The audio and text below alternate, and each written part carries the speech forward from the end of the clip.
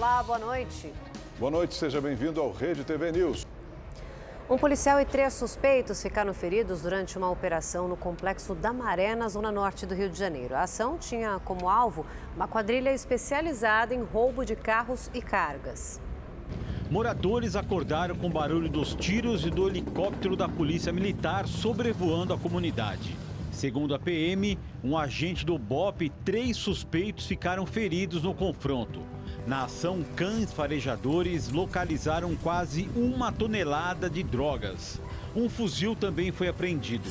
Logo após a entrada dos policiais, moradores invadiram a Avenida Brasil, uma das principais vias da cidade, e interditaram as pistas. Eles atearam fogo em pneus e lixo. O protesto teria sido motivado pela morte de um morador.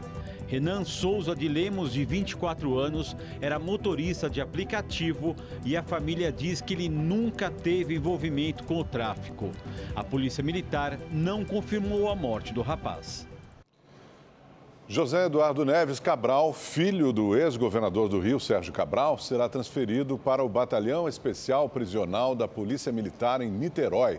É a mesma unidade prisional que o pai está preso. José Eduardo foi detido após ser alvo de mandado de prisão na operação Smoke Free, que mira a venda ilegal de cigarros. Hoje foi dia de Black Friday, um evento aguardado aí pelos consumidores e principalmente pelos lojistas. A data é a quinta melhor para o calendário comercial. Nesse ano, a Copa do Mundo incrementou também muito as vendas. À primeira vista, o desconto chama a atenção. O celular de R$ 1.599 por 599 reais. Ou essa TV de 50 polegadas de R$ 3.799 por 2.899 reais. Só que o consumidor fica atento, porque nem tudo está em promoção de fato. Pelo que você observou aí, tá dentro do que você esperava? Tá dentro da tua expectativa? Eu ainda estou dando uma pesquisada em relação à marca, é, modelo Agora eu estou definindo em relação a isso porque eu vi que o preço não, não alterou. O cliente tem que ter jogo de cintura e saber negociar. O Paulo comprou todos os eletrodomésticos para montar uma cozinha e, numa boa conversa com o vendedor, saiu satisfeito. Eu aguardei, eu acho que, que vale a pena. Eu acho que a gente vai conseguir fechar um acordo bom aí para os dois. Já a Elizabeth comprou pela internet e só veio na loja para retirar o produto. Estava muito mais em conta do que aqui que eu paguei 7,99, parcelando sem juros, e aqui ela está R$ 1.200. O Brasil, a Black Friday ainda é um, um, um evento uh, predominantemente online, ao contrário dos Estados Unidos, onde as lojas físicas é que começaram esse movimento, mas o varejo físico, as lojas de shopping, o varejo de rua, vem aderindo é, seguidamente, frequentemente a Black Friday. A estimativa da Confederação Nacional do Comércio é que essa Black Friday movimente 4 bilhões e 200 milhões de reais.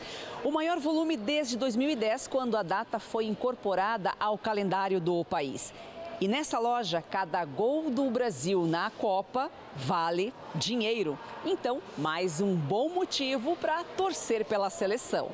Tipo, uma TV de 3 mil reais, você tem um Pix de 200 reais. Então, cada gol do Brasil, você recebe um Pix de 200 reais. Se o Brasil ganhar de 3 a 0, você recebe 600 reais em Pix direto na sua conta banco.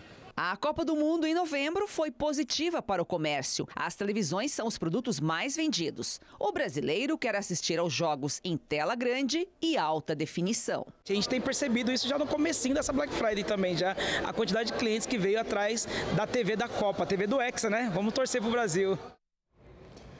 E atenção quem viaja de avião. O uso de máscaras nos aeroportos do país voltou a ser obrigatório. A medida foi tomada pela Anvisa após o aumento do número de casos da Covid-19 em todo o país.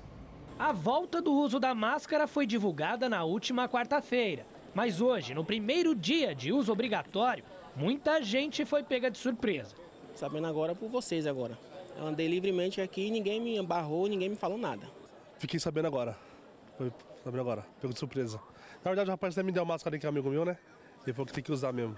A obrigatoriedade volta a ser exigida após decisão da Anvisa, pouco mais de três meses após a liberação total do uso da máscara de proteção nos aeroportos. A nova determinação leva em conta a circulação de pelo menos quatro subvariantes da Omicron, que seria a responsável pelo aumento no número de casos de Covid-19 pelo país.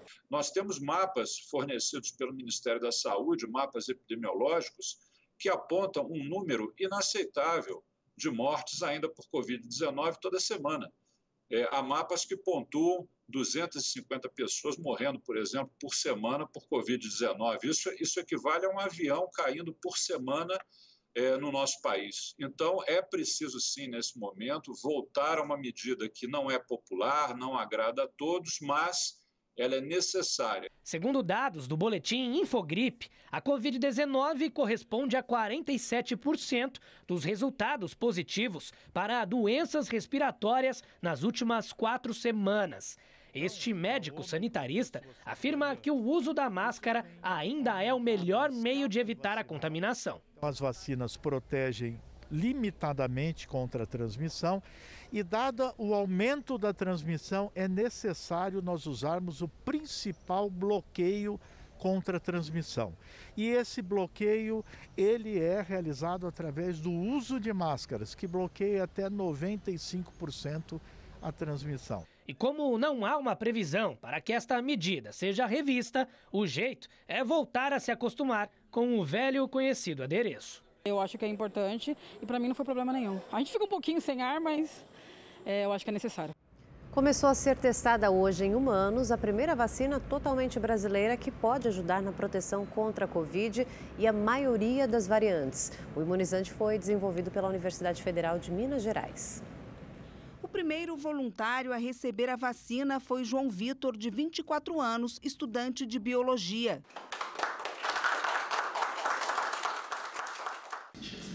Necessidade mesmo, sabe, de, de participar, é, me colocando como, como vontade de receber a, a dose. Batizada de Spintec, essa é a primeira vacina totalmente desenvolvida com tecnologia e insumos nacionais.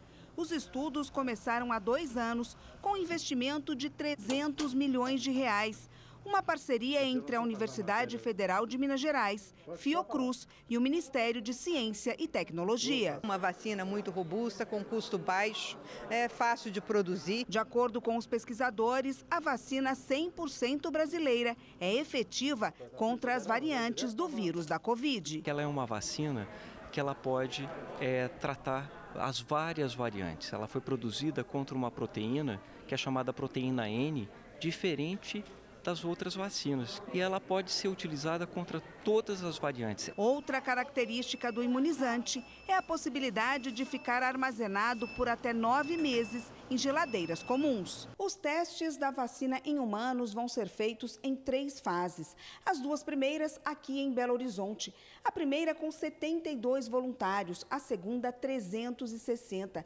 A terceira e última etapa vai precisar reunir de 4 a 5 mil voluntários de várias partes do Brasil. Mais de mil pessoas já se inscreveram para participar da pesquisa e agora vão passar por uma triagem. Passa mês, passa ano e nós estamos vendo que o vírus sempre volta. Então nós fizemos uma estratégia que é você selecionar um segmento do vírus que não muda entre os variantes. E isso, com certeza, é uma inovação tecnológica. A previsão é começar a produção em 2024. E a Covid-19 foi o assunto do grupo de saúde da transição de governo nesta sexta-feira. A equipe coordenada pelo vice-presidente eleito Geraldo Alckmin tem feito reuniões com integrantes do Ministério da Saúde para saber como a próxima gestão vai enfrentar a doença em 2023. Segundo o ex-ministro da Saúde, Arthur Quioro, a situação é delicada. Ele disse que o Ministério da Saúde ainda não formalizou a compra de todas as doses necessárias para a campanha de vacinação contra a Covid-19. A equipe também não identificou recursos que seriam utilizados para a compra de medicamentos e para gastos com bolsas de residência médica. Quioro alertou para a falta de transparência em dados importantes. Vou dar um exemplo. Todas as informações que chegaram para a gente vieram, por exemplo, sem prazos, cronogramas de entrega e prazo de validade. de vacinas, de medicamentos, etc. Isso é fundamental o planejamento. Em contrapartida, o governo afirmou que tem dado ênfase na imunização de crianças. Atualmente, a pasta da saúde distribui doses da Pfizer Baby, exclusiva para crianças de seis meses a três anos com comorbidades mais de um milhão de doses foram entregues aos estados recentemente. Em meio às divergências sobre a saúde pública brasileira, o presidente eleito Luiz Inácio Lula da Silva fez uma afirmação polêmica. Ele disse que conta com o apoio de lideranças religiosas para incentivar os fiéis a completarem o esquema vacinal contra a Covid-19. Caso pastores e padres se recusem a fazer isso, as igrejas podem ser responsabilizadas pelo aumento de mortes em decorrência da Covid. Em nota, a Frente Parlamentar Evangélica repudiou a afirmação e disse que tal fala conduz o país ao temeroso caminho da discriminação, preconceito e intolerância religiosa. Em qualquer ação social, nós evangélicos estamos sempre na dianteira. Não seja covarde nos ameaçando por puro rancor de não ter tido nosso apoio na sua eleição. Nós não aceitaremos ameaças. Cotado para assumir o Ministério da Fazenda, o ex-ministro da Educação, Fernando Haddad, participou hoje em São Paulo de um encontro com vários representantes da Federação Brasileira de Bancos, a FEBRABAN. Ele representou o presidente eleito, Luiz Inácio Lula da Silva, que se recupera de um procedimento cirúrgico na garganta. Ao vivo, o repórter David Diogo tem os detalhes para gente. Boa noite, David. Boa noite, Érica Augusto. Boa noite a todos. Pois é, Érica, no encontro, Haddad deixou claro sobre reformas necessárias, inclusive a tributária. Ele disse que o governo eleito vai dar prioridade aos programas sociais e reforçou a necessidade do executivo conversar de forma harmônica com todos os poderes, além de outros entes da federação. Vamos acompanhar um trecho da fala do ex-ministro de forma coletiva com os demais poderes, com o Congresso Nacional com a própria sociedade, chegar ao, ao, principal objetivo nosso, que é achar esse caminho. Então, eu quero crer que o presidente está com uma agenda pronta na cabeça, começar dia 1 de janeiro, né, com uma boa equipe, com uma interlocução generosa com toda a sociedade, para que nós consigamos, de novo, viver um, um período de prosperidade sobretudo pensando nos que hoje mais sofrem, que é a população de baixa renda, está excluída desse processo. Com esse encontro, Lula quer avaliar a recepção de banqueiros ao nome de Fernando Haddad para assumir o Ministério da Fazenda. Aliados de Lula afirma que o fato dele de Haddad ter participado desse encontro não significa que ele deva assumir a pasta. Hoje, após o encontro com o presidente eleito, Gleice Hoffmann afirmou que Lula ainda não definiu quem deve assumir o Ministério da Fazenda. A nomeação para a pasta é a mais aguardada pelo mercado financeiro. De São Paulo, David Diogo, para o Rede TV News. E o nome de Fernando Haddad para o Ministério da Fazenda é o tema da rodada de opinião de hoje.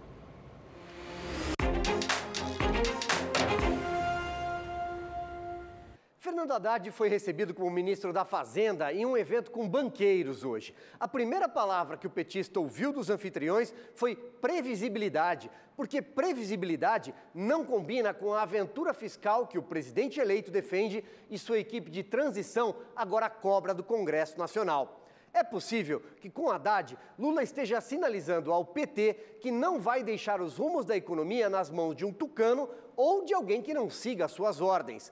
Também é provável que seja um prêmio de consolação para Haddad, que carrega no currículo uma administração mal avaliada na Prefeitura de São Paulo e três derrotas consecutivas nas eleições. Bom, nas urnas ele não funcionou. Para alguns deputados em Brasília, a escolha pode ser também um sinal de que, pela primeira vez, Lula esteja pensando num sucessor político, caso Haddad não tropece pelo caminho. Fernando Haddad passou hoje pela primeira prova de fogo como candidato a ministro da Fazenda. O mercado não gosta de Haddad. Nas palavras do economista-chefe de um importante fundo, os agentes financeiros o veem como cabeça fechada e ruim para a agenda econômica. O ex-prefeito está se esforçando para quebrar o gelo. Logo no início, esclareceu que falava em nome de Lula e deu dois sinais importantes. A reforma tributária será prioridade no novo governo e apontou para a necessidade de fusão de políticas sociais. Haddad criticou o desenho do Auxílio Brasil e lembrou que o Bolsa Família, que custava muito menos, foi capaz de reduzir a pobreza com mais eficiência. Falou ainda da deterioração da qualidade do gasto no país, apesar do teto para as despesas, e terminou lembrando do compromisso de Lula com a democracia, ou seja, com o diálogo e a institucionalidade. Esse sim, um valor imensurável. O ministro Ricardo Lewandowski, do Tribunal Superior Eleitoral, determinou que a chapa dos candidatos eleitos Lula, do PT, e Geraldo Alckmin, do PSB, explique gastos de 620 mil reais durante a campanha eleitoral. A área técnica do TSE apontou falhas na prestação de contas e solicitou que fossem apresentadas informações adicionais num prazo de três dias presidente do Tribunal Superior Eleitoral, ministro Alexandre de Moraes, atendeu aos pedidos do Partido Progressista e do Republicanos e retirou as legendas da condenação de pagar multa de quase 23 milhões de reais por litigância de má-fé. A punição foi aplicada pelo ministro na última quarta-feira à coligação que apoiou o presidente Jair Bolsonaro nas eleições, depois que o Partido Liberal, PL, pediu revisão extraordinária do resultado do segundo turno. Os republicanos e o Partido Progressista entraram com recurso e afirmaram que não foram consultados pelo PL sobre o pedido de revisão. Moraes concordou com o argumento e determinou a exclusão dos dois partidos da ação e desbloqueio dos fundos partidários das duas legendas. O Dia Nacional do Doador de Sangue, que é comemorado hoje, foi marcado por muita doação. Pessoas que reservaram um tempinho para ajudar o próximo, no Hemocentro do Rio de Janeiro. Seu Antônio tem 69 anos e durante toda a vida já fez 77 doações só no Hemorrio. Doação de sangue é uma coisa, um bem que você faz para alguém que você não conhece. E diretamente você está salvando vidas de muita gente. Né? Sem saber, você está ajudando muita gente. Já Gustavo se orgulha do título de fanqueiro sangue bom. Já são quase 20 anos como doador. Descobri que tinha uma galera que também gosta de funk e estava engajada nessa campanha. Então me juntei ao grupo, sou mais um doador aí, integrante do grupo e a gente está aí para fazer o bem sem olhar quem. Manter os estoques em alta nos hemocentros brasileiros é um desafio. A Organização Mundial da Saúde estima que o ideal seja que de 1,5% a 5% da população de um país seja doadora. Aqui no Brasil, atualmente, 2% faz doação de sangue com frequência. O problema é que, na prática, isso ainda não é suficiente. Entre os motivos para esse baixo estoque está o grande índice de traumas e acidentes que existe no país. Do número de, de traumas, né? de acidentes, de traumas, que é, são, são situações em que se consome muito sangue. E o Brasil também, infelizmente, tem um, uma, uma, um número de trauma muito grande. Então, tudo isso faz com que 1,8% seja pouco para o país. A gente precisa mais, a gente precisa crescer, a gente precisa chegar em pelo menos 2,5%. Podem ser doadores todos os brasileiros com idades entre 16 e 69 anos, com peso mínimo de 50 quilos e que tenham boa saúde. Entre as restrições estão ter tido hepatite depois dos 10 anos de idade ou ter doenças que são transmissíveis pelo sangue, como, por exemplo, sífilis, AIDS e doença de Chagas. Se você se encaixa no perfil de doador e nunca doou, que tal começar agora? Se até um tubarão veio doar, você também pode. E se você quiser rever esta edição do Rede TV News, inscreva-se agora no canal da Rede TV no YouTube. Lá você pode assistir na íntegra a todos os nossos programas. Está aí na tela para você, é só acessar, só acessar youtube.com/barra notícias Rede TV. A gente fica por aqui. Amanhã estarei no Rede TV News. Um excelente fim de semana. Boa noite para você. Até amanhã.